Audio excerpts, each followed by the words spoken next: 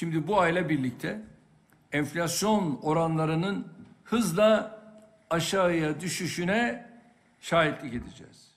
Başkan Erdoğan, Bakan Bilgin'le asgari ücret zammıyla ilgili külliyede son bir toplantı gerçekleştirdi. Erdoğan'la Bilgin asgari ücret için rakamları masaya yatırarak gelen talepleri değerlendirdi ve son hesapları yaptı.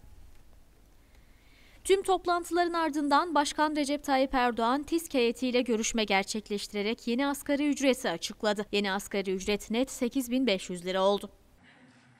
Net asgari ücret inşallah 8500 lira olarak aramızda mutabık kaldık.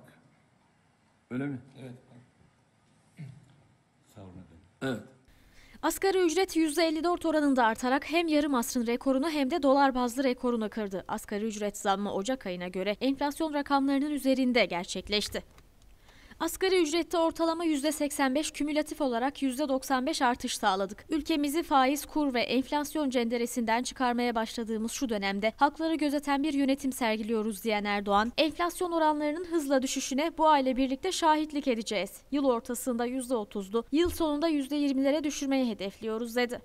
Şimdi bu ayla birlikte enflasyon oranlarının hızla aşağıya düşüşüne şahitlik edeceğiz. Enflasyonu inşallah yıl ortasında yüzde otuzlu, yıl sonunda yüzde yirmili rakamlara indirmekte kararlıyız. Ülkemizdeki her kesimden, her vatandaşımdan hesabını bu hedefe göre yapmasını istiyoruz.